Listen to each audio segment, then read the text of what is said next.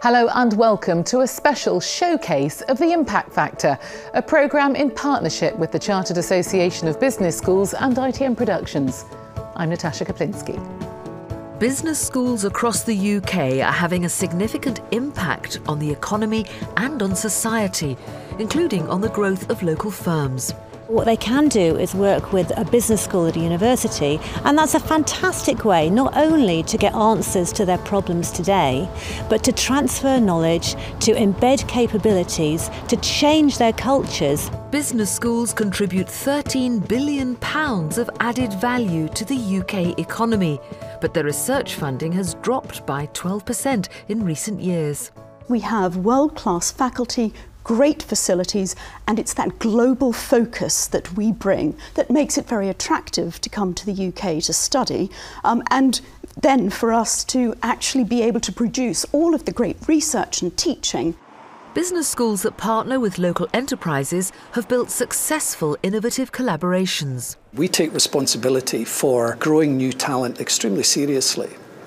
Uh, we formalised this responsibility by uh, developing a partnership with Edinburgh Napier University, and from that came the UK's first MSc in Business Event Management. Coming up with solutions is very much on the curriculum at Bath Business School, where students organise their own profitable graduation event using skills acquired on their course. As we're approaching the fourth industrial revolution with the focus on automation and artificial intelligence, we know that according to the World Economic Forum, creativity and innovation are kind of top skills that employers will be looking for. Understanding how we think is fundamental to the Behavioural Science in Practice programme run for civil servants, managers and consultants at the Shard in London by Warwick Business School. What we want to do is to have a rigorous uh, understanding of human behaviour, which actually has a scientific basis, but also plug that into these, these wider questions of what, are, what are the trends that are going on in society. Improving student employability through a focus on entrepreneurship and innovation is the aim at Brunel Business School. Through work placements, theory becomes practice to the benefit of employer and student the very very critical thing for us to how we bring our research to our local community. How we translate them so that this is not stuck in the journal articles but they can be able to use it. Real world experience is a valuable part of the course at portsmouth business school.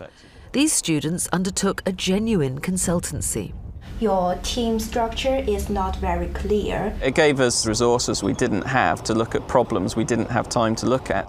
It's pressure, but it's something that you, that you need to work with because in real life, when you get a job, that's, you're going to deal with real pressure.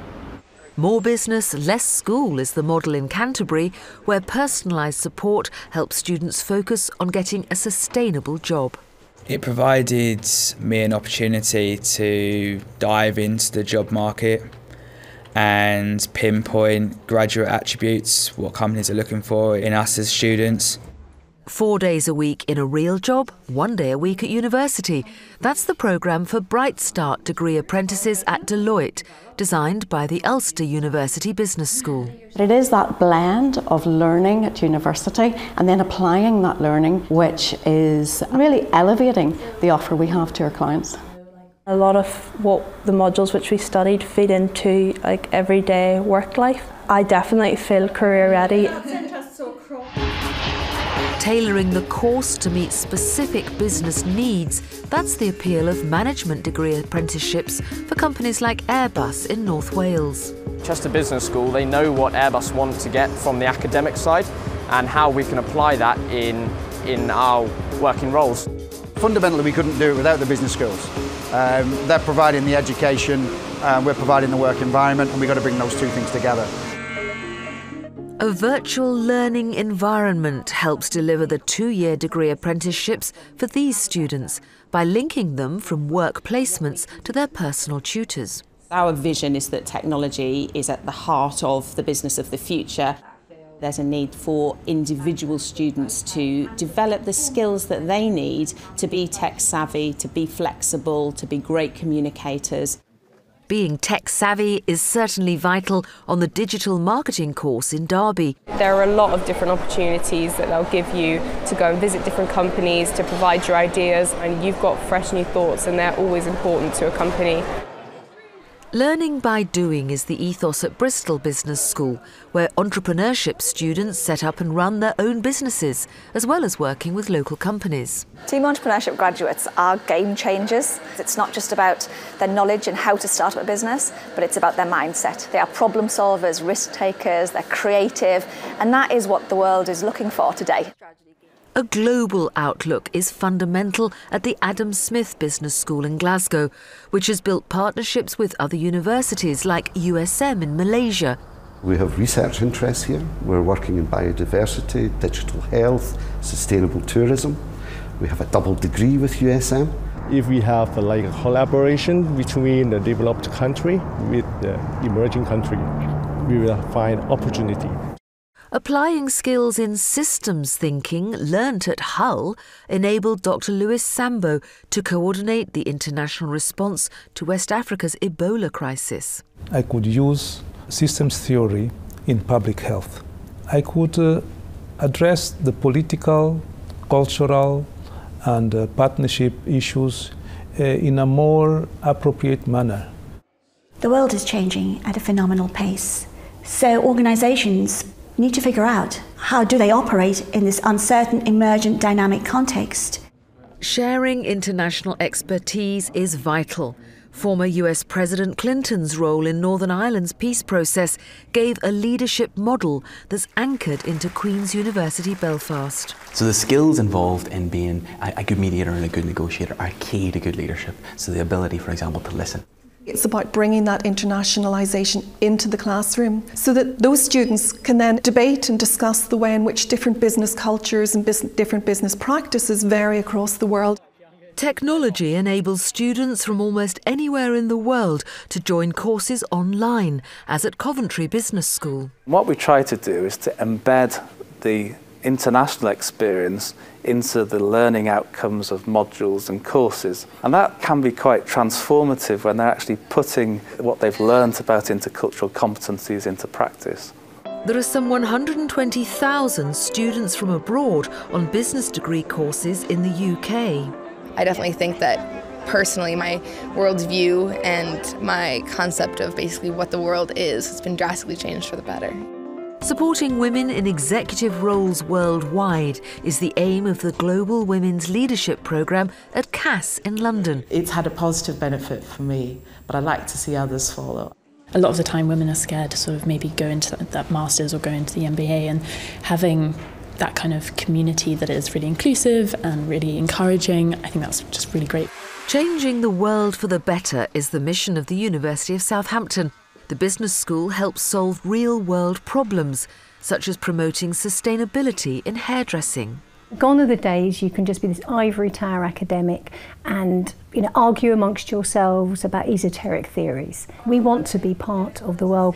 We want businesses to help be part of the solution, not part of the problem. Today, we're going to be looking at the various different types of carbon or greenhouse gas accounting Shaping our use of climate changing chemicals is one key area of research at the University of Edinburgh. It's extremely important to have methods that accurately tell us how much we're emitting and also tell us which actions are most effective at reducing emissions. Tackling the big problems is very much the remit of business schools, and challenges don't get much bigger than running the NHS. So we make a difference locally here at University Hospitals, Coventry and Warwickshire.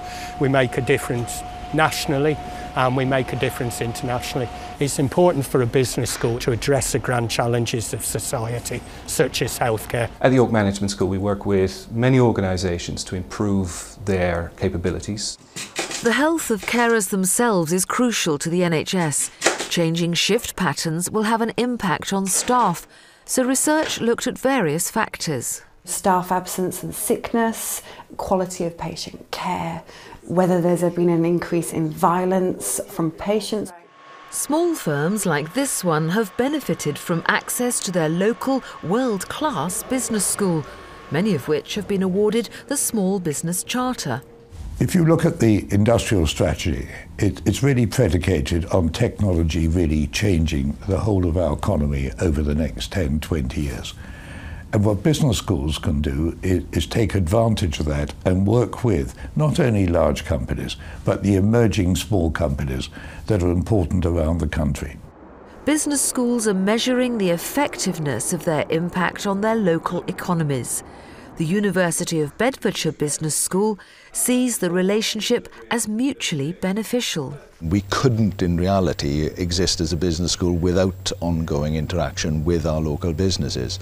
Uh, they offer a rich opportunity for our students, but at the same time, they feed into us the latest information that we can potentially use then to educate the business people of the future. This synergy between business schools, their students, and the wider economy underpins the impact that business schools are having across society. Thank you for joining me for this special bite sized version of The Impact Factor, showcasing all of the wonderful work going on in UK business schools. All of the features are available in full on the Chartered Association of Business Schools website. The details are on the screen now. From me and the team here, Goodbye for now.